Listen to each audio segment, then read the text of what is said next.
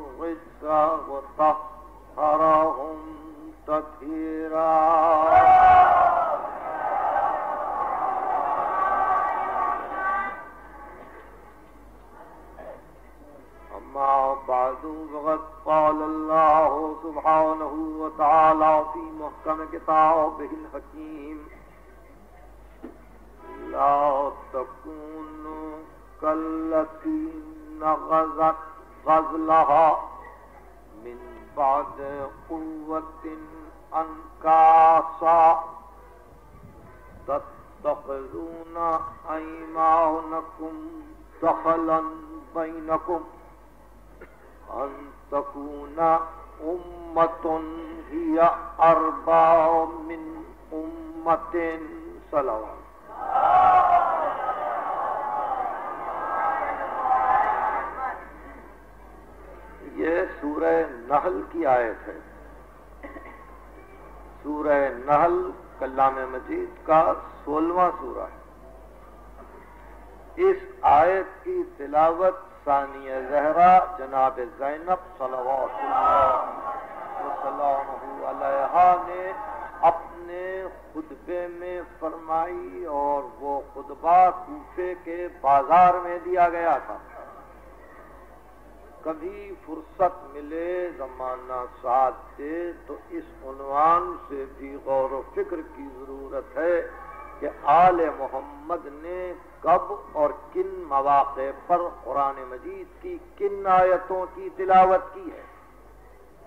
उन्हीं मौाक़े में से एक मौका ये है कि बाज़ार में कूफे के जब नौबतुजहरा तो मरियम रश के सफूरा ने अपने खुतबे को शुरू किया तो उस वक्त बेख्तियार आपने सूरह नहल की इस आयत की तिलावत की। अब इसका तर्जमा सुनिए, न बनो उस औरत की तरह से जिसने बड़ी मेहनत के साथ सूत को काट कर धागा तैयार करने के बाद फिर उसको खुद उलझा देना चाहा हो। खुद उसको तोड़ दिया हो, बिखेर दिया हो, उस औरत की तरह से न बनो। तुम्हारे अहद पैमान का भी यही हाल है। तुमने जो इतने कस्में खाई थी, तुम्हारा भी यही हाल है कि इस मेहनत के बाद तुम अपनी सारी मेहनतों को बिखेर रहे हो। फकत इस बात पे तुम्हारी कस्में टूट गई कि तुम ये चाहते हैं कि जिस तबके को अक्सरियत हासिल है, उससे तुमको कुछ फ़ायदा पहुँच जाए अंतपूना उम्मतुन ही अरबा मिन उम्मतिन। तुम ये देख रहे थे कि मेजॉरिटी ग्रुप से तुमको फ़ायदा पहुँच सकता है तो तुमने अपने अहद पैमान तोड़ दिए। दला दरा हाले के तुमको मालूम है, तुमको मालूम है कि खुदा वंदे अली आला मोहलत दे रहा है और मोहलत इस तरह से दी जा रही है कि इन नमाओ यबलू कुमुल्ला हो बे। खुदा इसी अक्सरियत से फ़ायदे भी उठाने की हवस में उसने तुम्हारा इम्तिहान पिन्हा रखा है और इस इम्तिहान का नतीजा ये है कि युबैनल्लाहु यौमल क़ियामत मा कुन तुम फ़ी है तख्तलफून और खुदावंद अली आला तुमको आगाह कर देगा कयामत के दिन के तुम्हारे बाहमी अख्तलाफात क्या थे। एक मुख्तसर सा उनवान है, मुख्तसर से वक्त के लिए कि शहजादी ने सूरह नहल की इस आयत की तिलावत की। और ये बतलाया कि देखो, सिर्फ़ एक ग्रोह की खुशनूदी के लिए तुम एक जमात को तबाह कर रहे हो, तुम एक जमात को परेशान कर रहे हो, तुम एक जमात के कत्ल के दर पे हो और इस हद तक तुमने ये तय कर लिया कि बहर सूरत उस गुरोह की खुशनूदी हासिल की जाए अगर अगरचे गुनाह ने कबीरा सादिर हो। इस आयत की तिलावत उसके तर्जमे के बाद अब मेरा फरीजा ये हो जाता है कि अगर कूफे के इस खुतबे को मुसलसल कर दिया जाए, जनाब जहरा के खुतब फिदक से तो पता चलेगा कि फिदक से करबला मुसलसल है। तो पता चलेगा कि फिदक से करबला मुसलसल है, यानी हर जगह यही कोशिश रही। कि किसी न किसी तबके की खुशनूदी हासिल की जाए, किसी न किसी तबके की दिलदारी की जाए, उससे फ़ायदा उठाया जाए और हक को फसे पुष्ट डाल दिया जाए। ये गुफ्तगु इसलिए ज़रूरी है कि जनाब फातिमा जहरा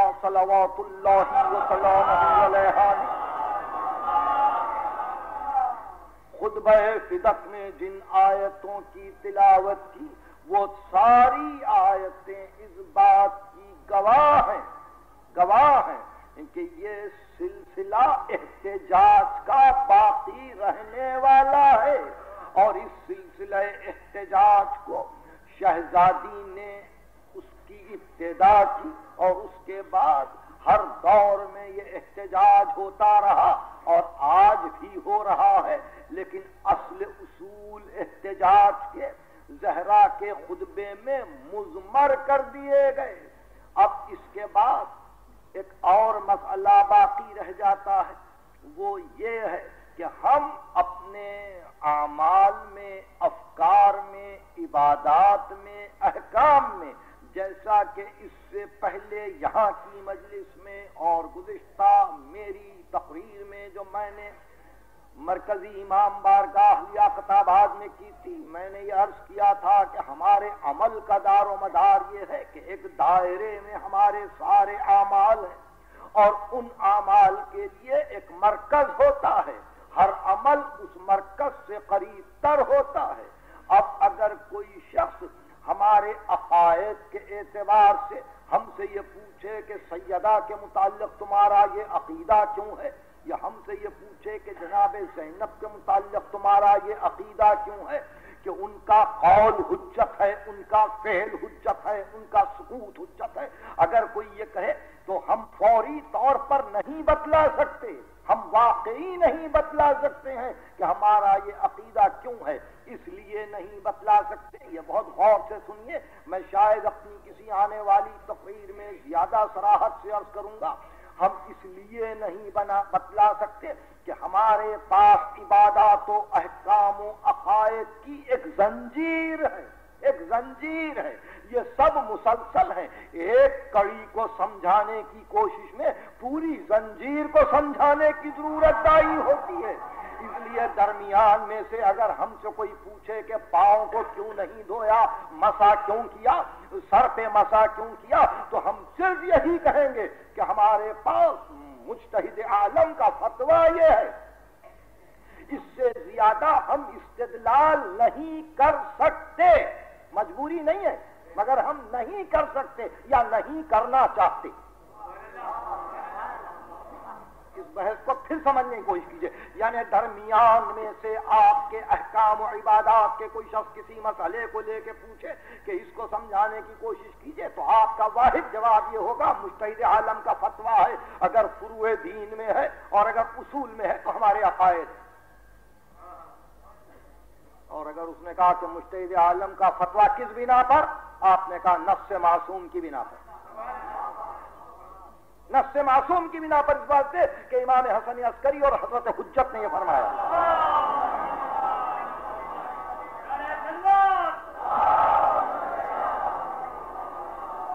आपने फरमाया, मन काना की मोहिबीना साए नन ले नफ्से ही, हाफिजन ले दीने ही।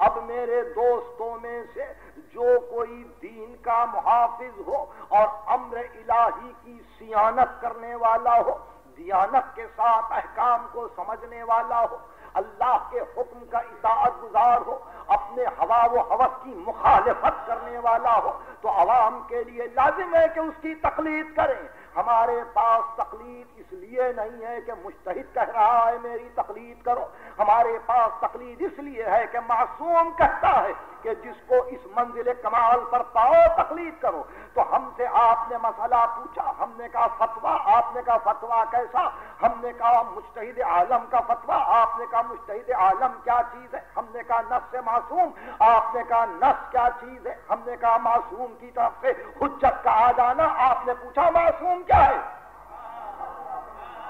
अब सिलसिला यहाँ तक पहुँचा तो इस तरह से आप मुख्तलिफ़ नुकात से होते हुए दायरे तक आए, मासूम वो है जो काश से मर्ज़ी इला हो।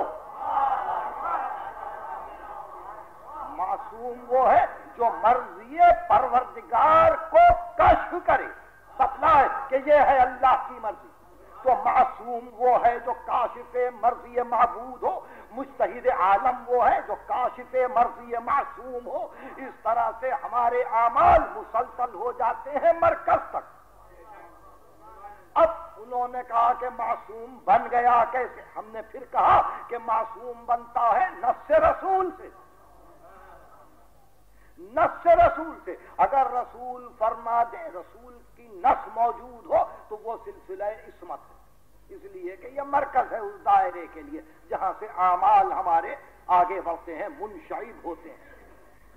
तो इस मंजिल पर जब नबी या मासूम मरकज बन जाता है, पूरे दायरे के लिए अमाल के तो हमारे अहकाम, हमारे इबादत, हमारे अकायद, मुबाह मकरू मुस्तहिब, जायज़, नाजायज, हलाल हराम अजाइम, रुखसते, ये सब की सब मुंसलिक हो जाती है एक मरकज से। हम कभी इस फकीर से, उस फकीर से, उस फकीर से भीख नहीं मानते हम मसले को मरकज से लेते हैं। और मरकज हमको सारे रास्ते बतलाता है कि ये रुखसतें हैं, ये अजीमतें हैं। इस वास्ते दुनिया परेशान हो जाती है। दरमियान में से किसी एक मसले को लेके समझने की कोशिश करना कि मुता को समझा दीजिए तकिए को समझा दीजिए, आप मसला बदा को समझा दीजिए, हम क्या बतलाएँ कि ये जंजीरें हैं? गुफ्तगु आप समझ सके? मसला तनहा नहीं समझाया जा सकता। मसले को तो शुरू से समझाना पड़ता है। आप शुरू के एक मसले को पूछ रहे हैं, उसूल के एक मसले को पूछ रहे हैं। हम चाहते हैं कि अगर सवाल हो तो पहले मासूम के मुतालिक सवाल हो कि मासूम कौन है? इमाम कौन है? हुज्जत कौन है? तो वहाँ से गुफ्तगु हो सकती है, जहाँ से कि मरकज अपने काम का आगाज़ करता है। जब गुफ्तगु को आप इस मंजिल तक पहुँचा सके तो अब किसी से हमारा ये कहना किसी से हमारा ये कहना कि देखो, जब मरकज बन जाता है दायरे में तो उस वक्त हम कहते हैं, अशहदु अन्ना मोहम्मदन अब्दहू व रसूलो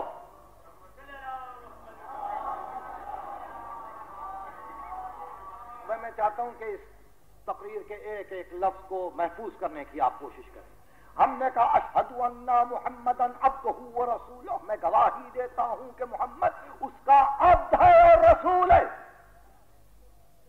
जब खुद गवाही ये दी गई हर नमाज़ में और मिल्लत मुस्लिमा ने यह गवाही दी कि मोहम्मद उसका अब्द है और रसूल है तो कौन कहता है कि मोहम्मद की परस्तिश की जा रही है? कौन कहता है कि मोहम्मद महबूद है? कौन कहता है कि मोहम्मद खुदा है? जब हम गवाही दे रहे हैं कि वो अब्द है और रसूल है। आपने देखा मरकज में मोहम्मद आए, हमने गवाही दी कि ये अब्द है और रसूल है। और अगर अब्दियत का एतराफ करते हुए उसके संगे आस्था पर हमने पेशानी रख दी तो ये शिर क्यों हुआ?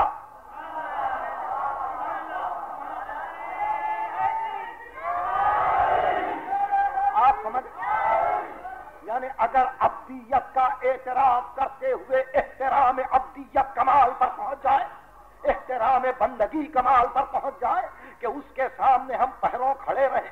उसके सामने हमारी आँखें न उठ सके। जब वो आए, हम गिर पड़े उसके सामने। हम उसकी चौखट पे पेशानी रख दें हम अपनी पेशानी को उसके खाके पापे अगर मलते रहे तो न ये सजदा सजदा बंदगी है, न ये एहतराम परस्तिश है, और मोहम्मद अब ही अब्द है, वो महबूद नहीं है। इसलिए अब इसको समझाएँ, इस दुनिया को तो कैसे समझाएँ?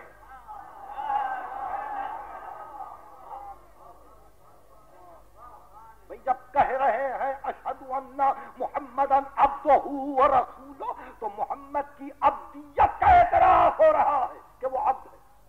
जब मोहम्मद को अब्द माना है, और जब उसके लिए एक मकान है, एक जगह है, एक मंजिल है, और अगर उसके लिए एक सलाम है, उसके लिए एक दुरूद है तो ये एहतराम बंदगी है। न दुरूद शिरक है, न सलाम शिरक है। मेरी बहस को आप समझ लें। दुरूद क्यों शिरक नहीं है? इसलिए कुरान में है। कुरान में है इन अल्लाह व मलाइकतहु युसल्लूना अलन नबी, या अय्युहल्लज़ीना आमनू, सल्लु अलैहि व सल्लमू तस्लीमा।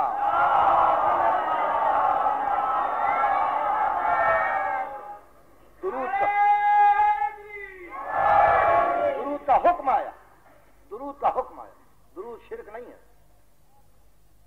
उसकी अब्दियत के साथ दुरूद है। उसकी अब्दियत के साथ दुरूद है। परवरदिगार रहमत को नाजिल कर, खिजाना रहमत पर। दुरूद है। सलाम है। सलाम के लिए दुनिया जानती है कि सलाम शिरक नहीं है। बंदे पे सलाम है। महबूद पे नहीं।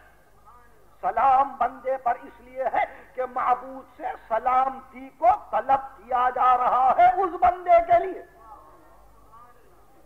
सलाम अला नूहिन फिलहालमीन सलाम अला मूसा व हारून सलाम अला इब्राहिम। जब कुरान मजीद ने सूरह साफ़ साफ़ में मुसलसल अंबिया पर सलाम किया है और ये बतलाया है कि कुरान पढ़ते जाओ और सलाम करते जाओ तो अगर वो सलाम शिरक है तो मोहम्मद पे सलाम भी शिरक है। नूह मर गए, सलाम है। नूह मर गए, सलाम है। सलामुन अला नूहिन फिल आलमीन। आलमीन में सलाम। इब्राहिम जा चुके, सलाम है। मूसा और हारून मर गए, सलाम है। तो ये कहना कि जो मर चुके हैं, उन पे सलाम शिरक है। तो ये तो कुरान से कहिए। ये तो कुरान से कहिए कि मरने वालों का सलाम क्यों है? और जब ये बातें समझ में आ गई तो फिर और आगे बढ़ जाइए। सूरह नमल में इरशाद हुआ सलाम सफ़ा, सलाम हो अल्लाह के मुस्तफ़ा बंदों पर। अब अंबिया के बाद सिलसिला मासूमा का शुरू हुआ। सलाम सलाम हो अल्लाह के मुस्तफ़ा बंदों पर। किताब हमने कुरान का वारिस अपने मुस्तफ़ा बंदों को बनाया। हर मुस्तफ़ा बंदे पर हमारा सलाम हो। आप समझ रहे हैं? ये सूरह नमल है। जो सत्ताईसवा सूरा है कुरान का सलाम इबादीन उसके बाद सूरह रात है। सलाम अलैकुम सबर तुम फने माउबदार आए सब्र करने वालों, तुम पे हमारा सलाम है। क्या बेहतर अंजाम है तुम्हारा? क्या बेहतर घर है तुम्हारा? सूरह रात कलाम मजीद का तेरवा सूरा है। वो सूरह साफ़ साफात है, जहाँ अंबिया पर सलाम है। सूरह बकरा है। जिन्होंने सब्र किया और कहा, इन्ना व इन्ना इलैहि उन पे अल्लाह की तरफ़ से दुरूद भी है और रहमत भी है। न दुरूद शिरक है, न रहमत का तलब करना शिरक है, न सलाम का भेजना शिरक है, न सर का झुकाना शिरक है। मगर ये सारी बातें उसी को हम समझा सके जो मरकज को माने।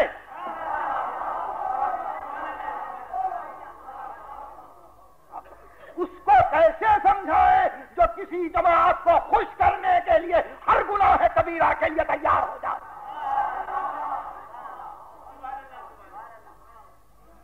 आप समझ वक़्त वहाँ तो यह धुन है कि जमात खुश हो जाए।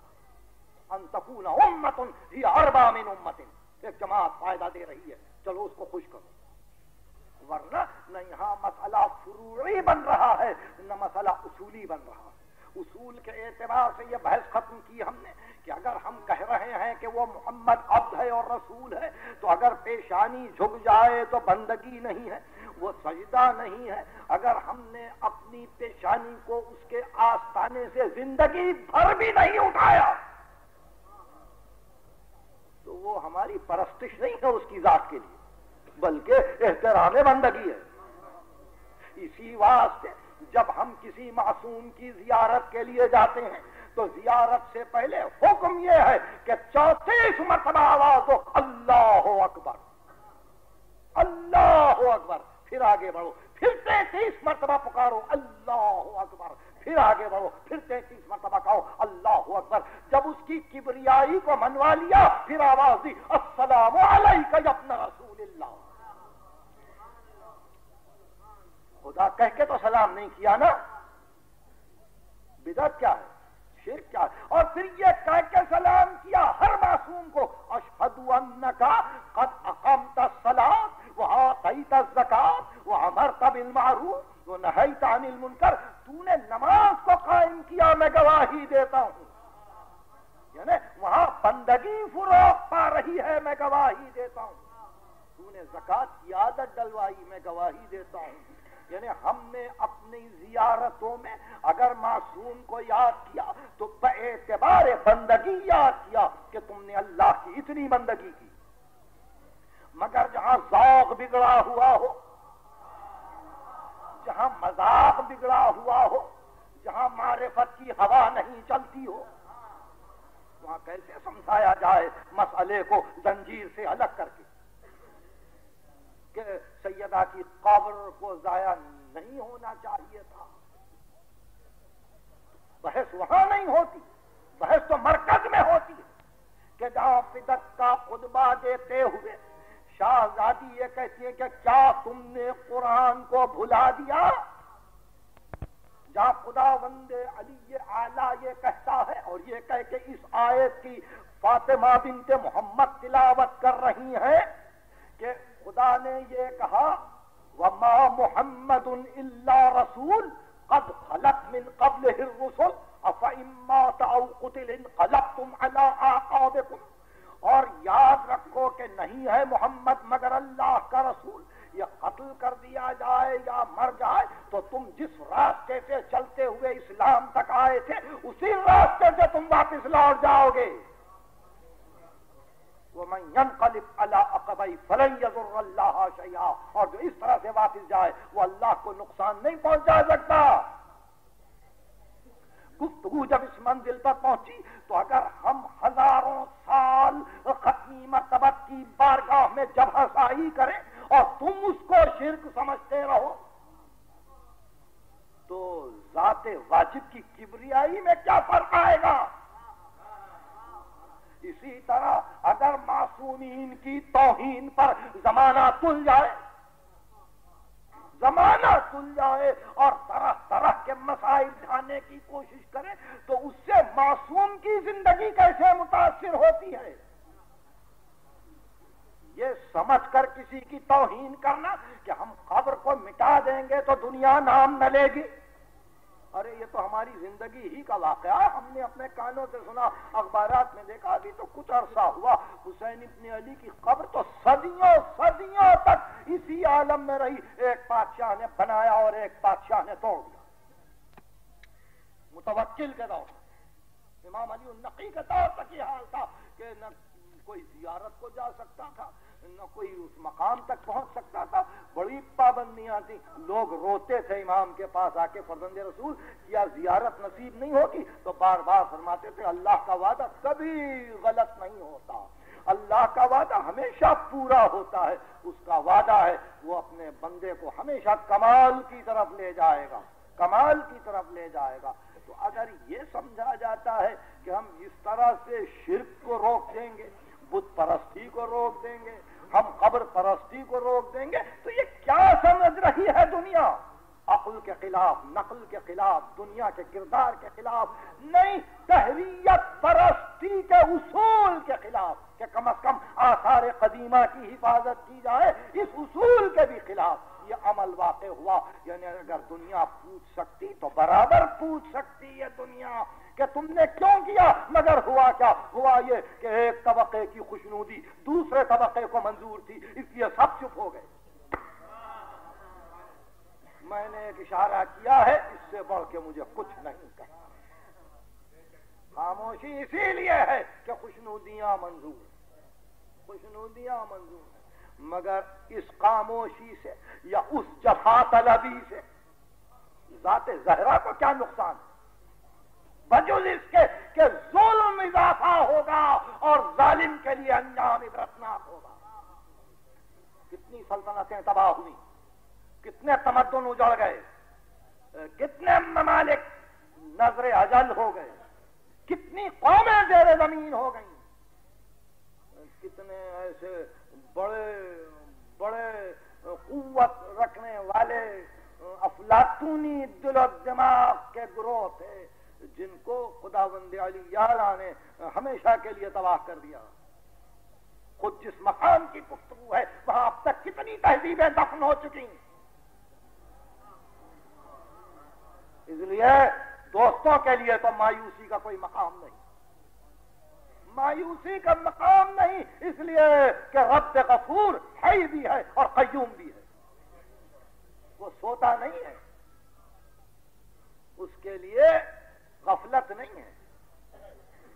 वो देख रहा देख रहा है और मोहलत दे रहा।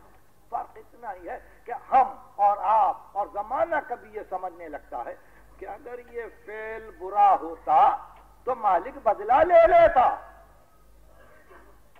अगर ये फेल बुरा होता तो मालिक बदला ले लेता।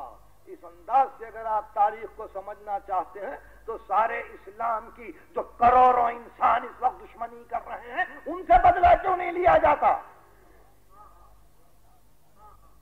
सारे इस आलम इस्लाम की दुश्मनी जो चाइना से लेकर रशिया तक और रशिया से तमाम कम्युनिस्ट ममालिक तक हो रही है, बदला क्यों नहीं लिया जाता?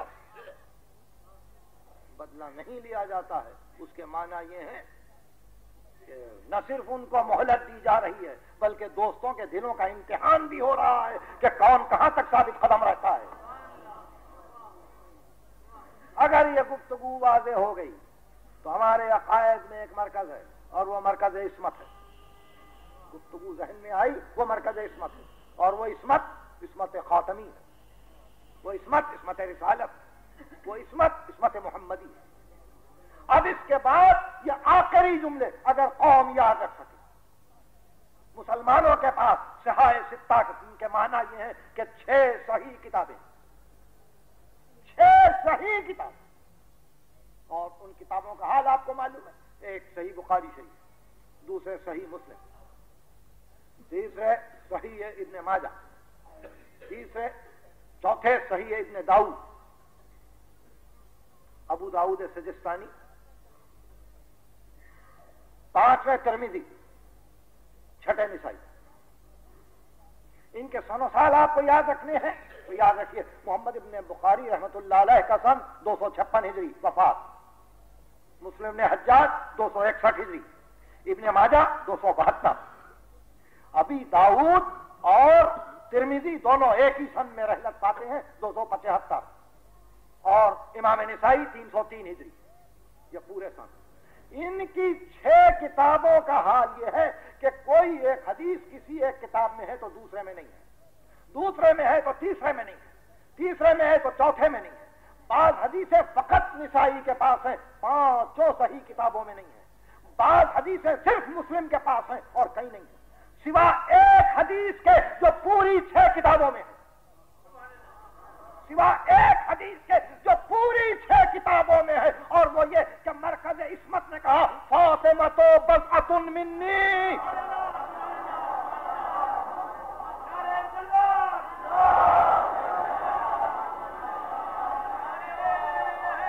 आप याद रखेंगे इसको?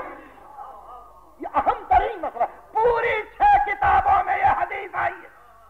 इसको बुखारी ने लिखा, मुस्लिम ने लिखा, इब्ने माजा ने लिखा अबू दाऊद सिजिस्तानी ने लिखा तिरमिदी ने लिखा, निसाई ने लिखा। पूरी छह किताबों में यह है कि रसूल ने फरमाया, फातिमा, मेरे दिल का टुकड़ा है, यहाँ खत्म नहीं किया। मन आजा फकद आजानी जिसने जहरा को अजियत दी, उसने मुझे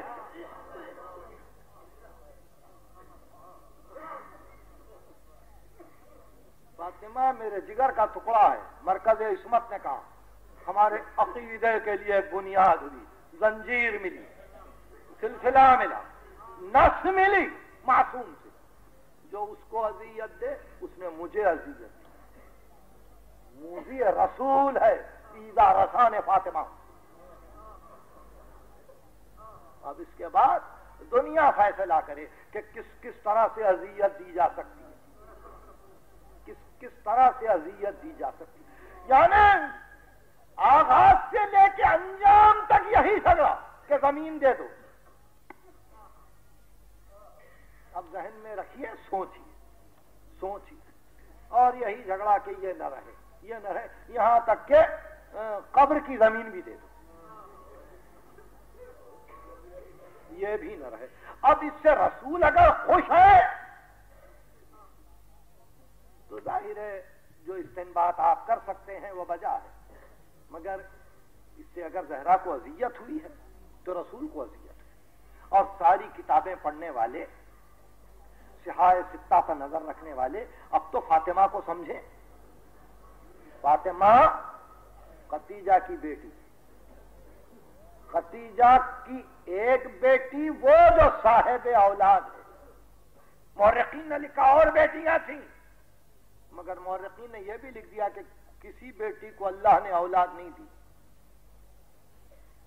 यानी मोहम्मद की बीवी खतीजा की एक बेटी की औलाद है, जिससे रसूल की आल दुनिया में फैली।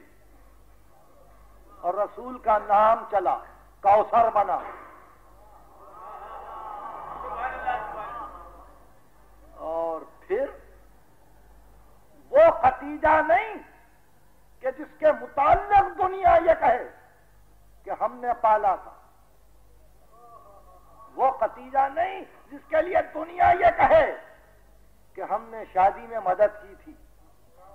वो खतीजा नहीं कि दुनिया एहसान जताए हमने खतीजा के खानदान की परवरिश की थी। वो खतीजा जिसने अरब की परवरिश की, जिसने मुसलमानों की परवरिश की, जिसके घर से मिस्कीन, फकीर, असीर, यतीम कभी महरूम नहीं गया। वो खतीजा कि जिसका माल रसूल ने अपनी कौम के लिए वक्त कर दिया था, कि कोई हैरान ना हो। वो खतीजा कि जिसके मुतालिक किस शान से एक एक मुसन्निफ लिखता है खसूस शिबली नौमानी, के इस्लाम मरहून मिन्नत है दौलत खतीजा का। खतीजा की दौलत इस्लाम के काम आई, और खतीजा की बेटी फाके करती रही। कभी किसी को यह एहसास नहीं हुआ कि जहरा से ये पूछे, जहरा, आज तेरे बच्चे भूखे क्यों हैं?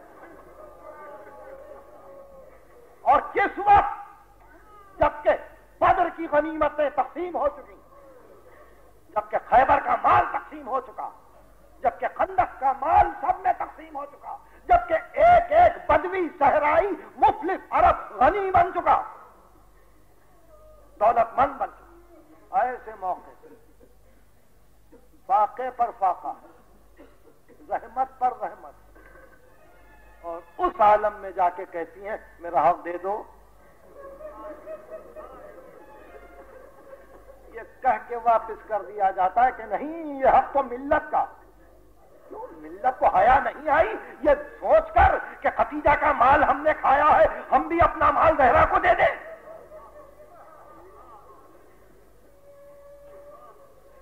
मगर नहीं। सब तमाशा देख रहे। अंतकून उम्मतुन, ही अरबा मिन उम्मति सब चुप। वापिस आई। वापिस आई तो वो बिजअतुर रसूल, जिसके किसका गम रसूल का गम। उसने कहा, खबरदार, अब कोई मेरे घर ना आए। अब कोई मेरे घर ना आए। हुकूमत वक्त ने पूछा कि क्या कोई जहरा से मिलने जाता है? तो उम्महातुल मोमिनीन ने कहला भेजा कि हमने बार बार चाहा कि हम अदालत में जाके मिजाज पूछें, मगर जहरा की कनीजों ने मना कर दिया कि खबरदार कोई घर में खत्म न रखे। अब ये आखिरी जमाना है, जहरा का तन्हाई है अब शौहर की देख रेख भी है बच्चों की परवरिश भी है, घर का इंतज़ाम भी है, जहरा की अलालत भी है उठती हैं तो खड़े नहीं हो सकती हैं, लेटती हैं तो करवट नहीं बदल सकती हैं, ये वक्त गुजर गया।